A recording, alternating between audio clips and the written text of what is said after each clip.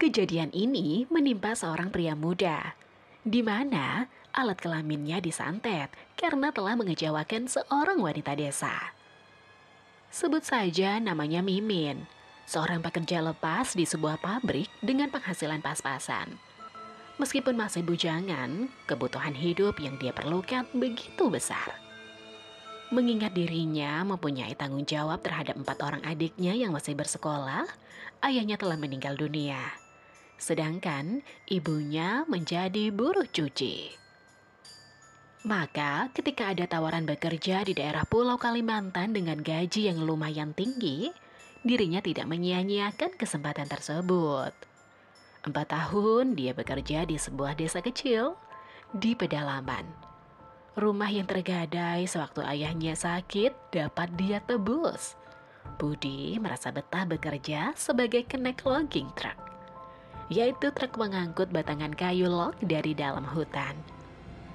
Hasilnya lumayan, jauh berbeda bila dibandingkan ketika dia bekerja sebagai buruh pabrik. Ketika perusahaan membuka areal baru di pedalaman, dia termasuk salah satu karyawan yang dengan sukarela pindah ke sana.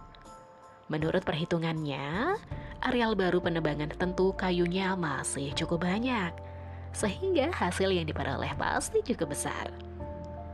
Selain itu, jarak antara tempat penebangan dengan tempat penampungan kayu masih sangat dekat.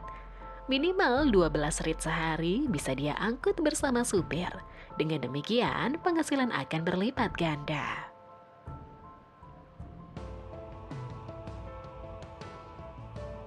Salah satunya adalah Dara, seorang gadis Dayak serempak yang sangat cantik. Dengan kulit khasnya berwarna putih. Dara memang begitu menggoda. Karena itu tidak perlu berlama-lama pacaran. Mereka memutuskan untuk segera menikah. Lamaran dilakukan oleh manajer camp yang mewakili keluarganya yang tidak dapat hadir. Maklumlah, ibunya sudah terlalu tua untuk melakukan perjalanan jauh. Sedangkan adik-adiknya semuanya sibuk dengan kegiatan mereka masing-masing. Seperti kebiasaan adat penduduk setempat pada waktu itu, dia harus menyediakan binatang-binatang ternak seperti ayam dan bebek, juga peralatan dapur sebagai mas kimpoy, Pesta pernikahan cukup meriah, walaupun sangat sederhana menurut ukuran serempak pada umumnya. Budi sangat bahagia dapat mempersunting gadis Dayak yang memang sudah menjadi incaran banyak pemuda di kampungnya.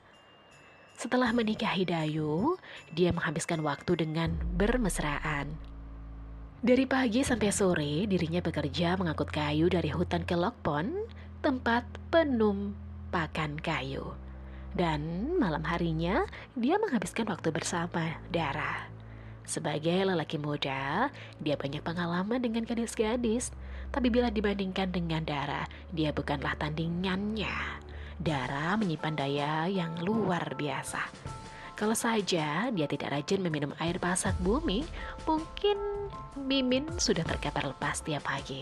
Bayangkan, hampir setiap malam mereka selalu bercinta. Waktu berputar seakan begitu cepat. Tidak terasa sudah lima tahun dia menikah dengan Dara.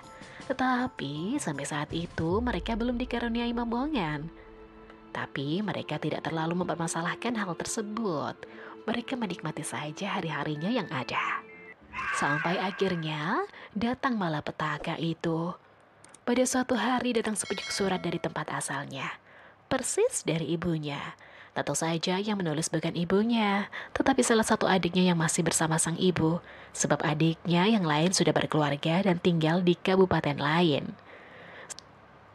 Surat itu berisi pesan dari sang ibu yang meminta Mimin untuk segera pulang. Dia akan dinikahkan dengan gadis pilihan ibunya dengan maksud agar dapat mempunyai keturunan. Pak, bisa bantu aku membacakan surat ini? Kira-kira isinya apa, Pak? Tanya Mimin sembari menyodorkan surat itu yang berbahasa Jawa. Baca saja, kamu kan bisa membaca. Jawab Pak Anwar. Saya bisa membacanya, tapi tidak mengerti maksudnya. Jawab Mimin. Dan ceritanya bersambung. Siapa yang mau tahu cerita selanjutnya? Tetap pantau di audio podcast Darul Hilmi. Terima kasih.